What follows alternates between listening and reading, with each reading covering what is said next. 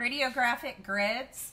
This is part two of chapter 12 from the Johnston and Fauber book, Essentials of Radiographic Physics and Imaging. The radiographic grid was invented in 1913 by Gustav Bucky and continues to be the most effective means for limiting the amount of scatter radiation that reaches the IR. Grids are approximately a quarter inch thick and they can range from 8 by 10 to 17 by 17, just depending on the size of the IR with the machine that you are using. The grid is a device that has very thin lead strips with radiolucent interspaces. It is intended to absorb scatter radiation emitted by the patient before it reaches the IR. It's placed between the patient and the IR and grids are an invaluable in the practice of radiography. They work well to improve radiographic contrast because they do filter out and absorb the scatter radiation that comes from the patient before it reaches the IR. They do work well to improve radiographic contrast, but there are some drawbacks. Because of this, we have to increase our mass by use, with using a grid. And because we are increasing our mass, that will result in a higher patient dose of radiation. Grids are typically only used when the anatomic part is 10 centimeters or more, which is also 4 inches or more in thickness. And we can also use grids for imaging procedures requiring more than 60 kVp.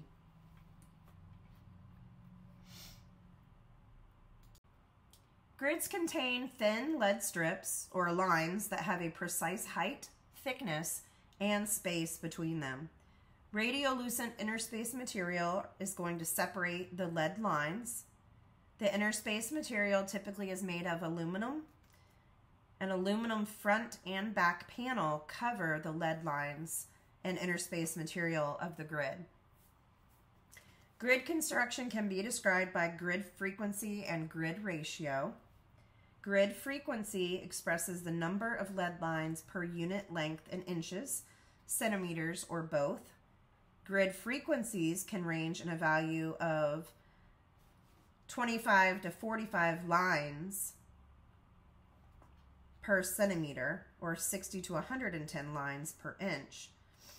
A typical value for grid frequency might be 40 lines divided by a centimeter or 103 lines divided by inches.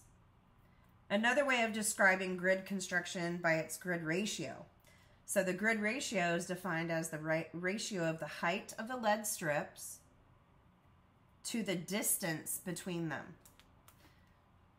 So grid ratio is the height divided by the width of the interspace.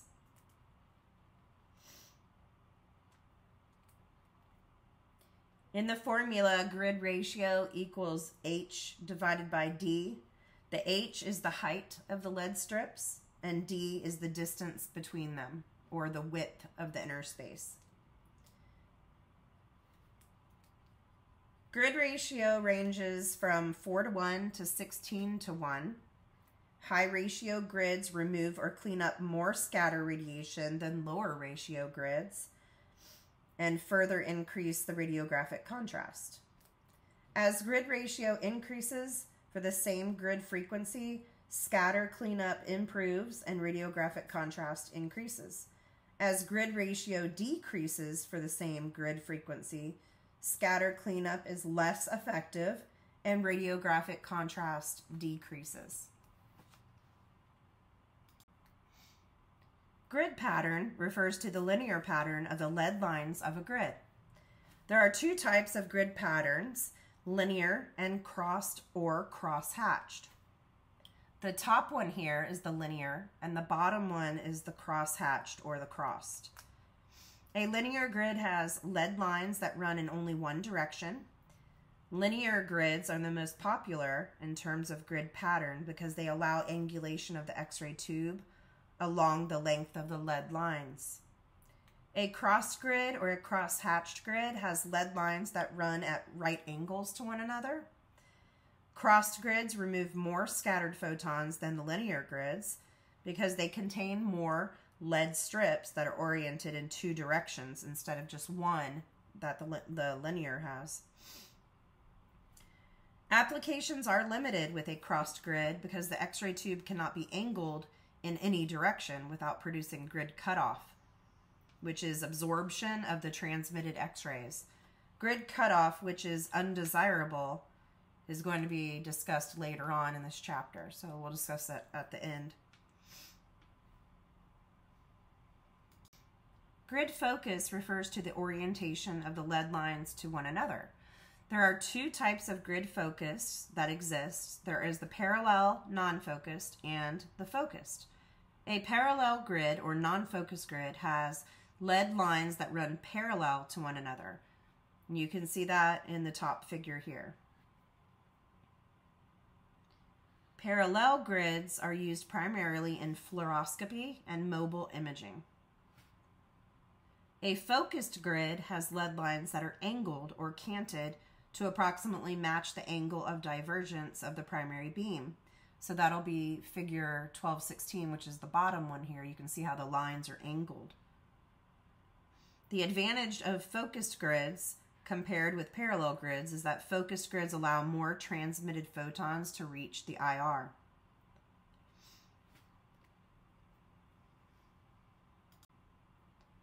As seen in this picture here, transmitted photons are more likely to pass through a focused grid to reach the IR than they are to pass through a parallel grid.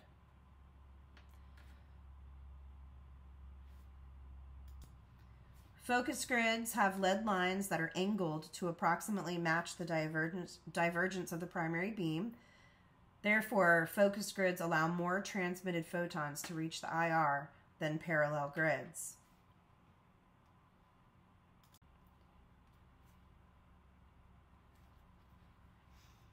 As seen in this picture, if imaginary lines were drawn from each of the lead lines in a linear focused grid, these lines would meet to form an imaginary point, which you can see on both ends here, called the convergent point. The line that goes from point to point is called the convergent line. Both the convergent line and convergent points are important because they determine the focal distance of the focused grid. The focal distance, sometimes referred to as the grid radius, is the distance between the grid and the convergent line or point. The focal distance is important because it's used to determine the focal range of a focused grid. The focal range is the recommended range of SIDs that can be used with a focused grid.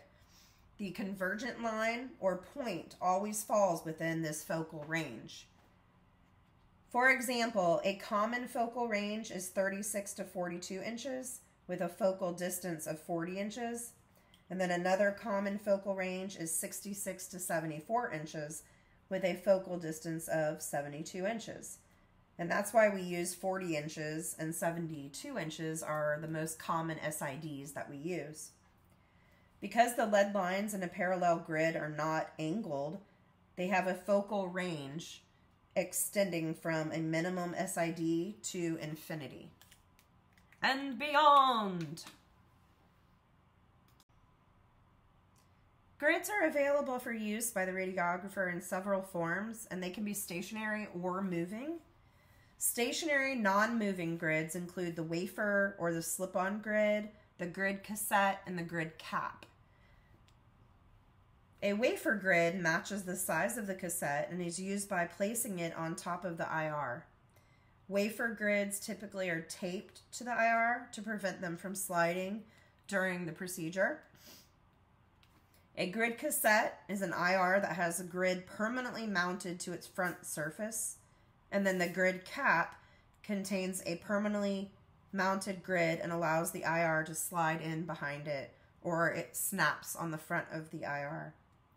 Many IRs can be interchanged behind the grid before processing the image. When grids are stationary, it's possible to closely examine and see the grid lines on the radiographic image. Slightly moving the grid during the X-ray exposure blurs the grid lines. Moving or reciproc reciprocating grids are part of the Bucky, more accurately called the Potter-Bucky diaphragm.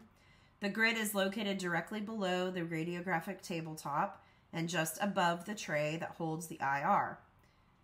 Grid motion is controlled electrically by the X-ray exposure switch. The grid will move slightly back and forth in a lateral direction over the IR during the entire exposure to blur the lines. These grids usually are about 17 by 17 or 14 by 17 and can be positioned under the grid either lengthwise or crosswise depending on the examination requirements.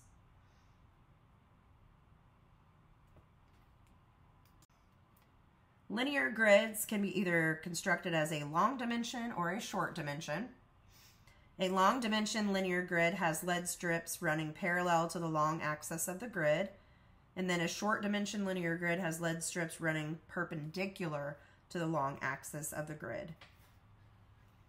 For example, um, in the pictures here, you can see a short dimension and a long dimension. So for a 14 by 17 dimension grid has lead strips 17 inches long, whereas a short dimension grid has lead strips 14 inches long. A short dimension grid may be useful for examinations in which it's difficult to center the CR correctly for the long dimension grid. So a short dimension is more forgiving. The purpose of using grids in radiography is to increase our radiographic contrast. In addition um, to improving the contrast by cleaning up the scatter, grids reduce the total amount of x-rays reaching the IR. The better the grid at absorbing scattered photons, such as with a higher um, ratio grid, the fewer the photons reaching the IR. So to compensate for this reduction, additional mass must be used to produce diagnostic images. So we use the grid conversion factor or the Bucky factor to determine the adjustment in mass needed when changing from using a grid to non-grid or vice versa, or for changing to grids with different grid ratios. As grid ratio increases, radiation exposure to the IR decreases. As grid ratio decreases, radiation exposure to the IR increases. So we can look at the GCF, which is the grid conversion factor or the Bucky factor. And the GCF is given to us when we divide mass with the grid divided by mass without the grid. When we want to change from one grid ratio to another, we're going to use this formula here. And this is mass 1 divided by mass 2 equals the grid conversion factor 1 divided by the grid conversion factor 2. So for this equation to work, you must know the grid conversion Bucky factors. And they are without a grid, so no grid, the GCF is 1. 5 to 1, GCF is 2. 6 to 1, GCF is 3. 8 to 1, GCF is 4. 12 to 1, GCF is 5. 16 to 1, your GCF is 6.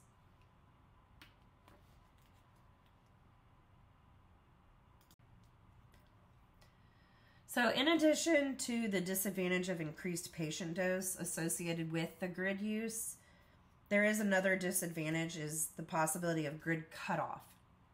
So grid cutoff is defined as a decrease in the number of transmitted photons that reach the IR because of some misalignment of the grid.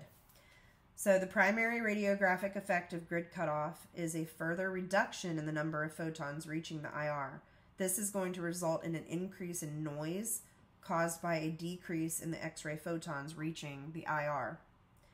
Grid cutoff may require that the radiographer repeats the image, thereby increasing patient dose again. Grid ratio has a significant effect on grid cutoff, with higher grid ratios resulting in more potential cutoff.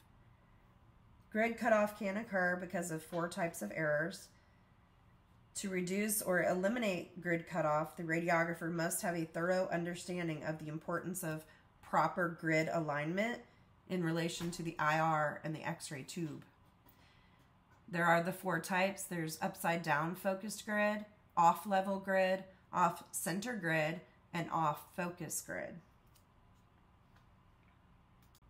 Upside down focused cutoff occurs when a focus grid is placed upside down on the IR, resulting in grid lines going opposite of the angle of divergence of the X-ray beam. So this appears radiographically as a lot of loss of exposure along the edges of the image. Photons will easily pass through the center of the grid because the lead lines are perpendicular to the IR surface. Lead lines that are more peripheral to the center are angled more and therefore transmitting photons. Upside down focus grid error is easily avoided because every focus grid should have label indicating tube side. The side of the grid should always face the tube, away from the IR. Off-level grid cutoff results when the X-ray beam is angled across the lead strips. It is the most common type of cutoff and can occur from either the tube or the grid being angled. Off-level grid cutoff can often be seen with mobile radiography or horizontal beam exams and appears as a loss of exposure across the entire IR. This type of grid cutoff is the only type that occurs with both focused and parallel grids. So you can see the picture to the left is showing the proper position of the tube and the IR. And then the picture to the right is showing that the tube is coming down perpendicular, but the grid is off level.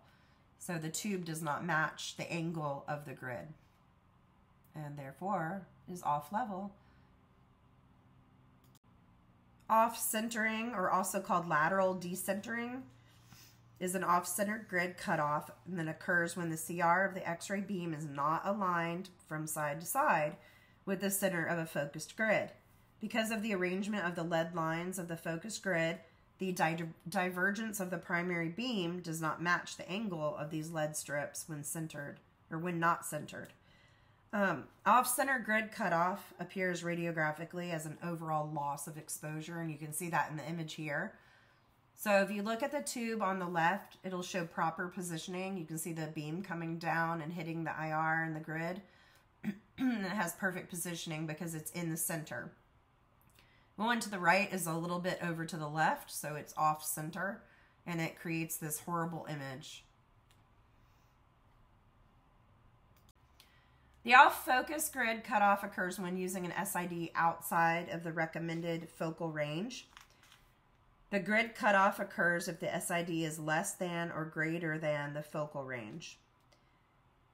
Radiographically, both appear the same. It shows a loss of exposure at the periphery of the image. A radiographic image that is underexposed can be the result of many factors, and one of which is the grid cutoff. Before assuming that an underexposed image is due to the insufficient mass and then re-exposing the patient with the mass increase, you should always evaluate grid alignment first. So if it is misaligned, it could be the cause of the underexposure. The patient can be protected from having to repeat the image with increased mass. It's always important to note that the brightness of a digital image will be computer adjusted for reduction in exposure to the IR because of grid errors. However, increased quantum noise may be visible and image quality could be reduced because of it.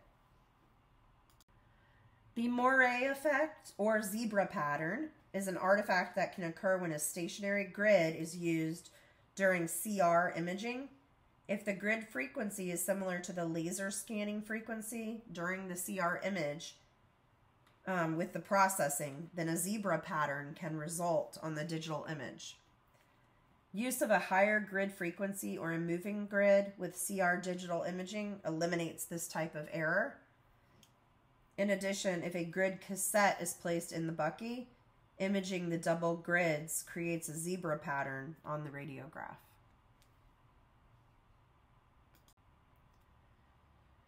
The radiographer must consider several factors when deciding which type of grid, if any, to use for an exam.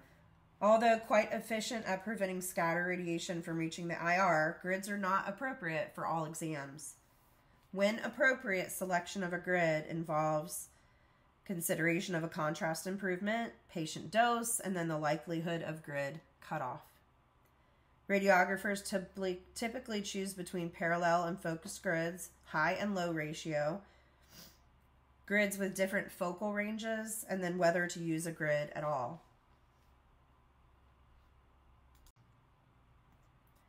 Limiting the size of the X ray field to the anatomic area of interest will decrease scatter production and re reduce patient exposure. Although the mass may be increased to compensate for decreasing the size of the field, the tissues located closest to the lateral edge or outside of the collimated x ray beam will receive the least amount of radiation exposure. Those tissues that lie inside the collimated edge of the x ray beam will receive the greatest amount of radiation exposure. And collimating to that anatomic area of interest is an important radiation safety practice that should be routinely performed.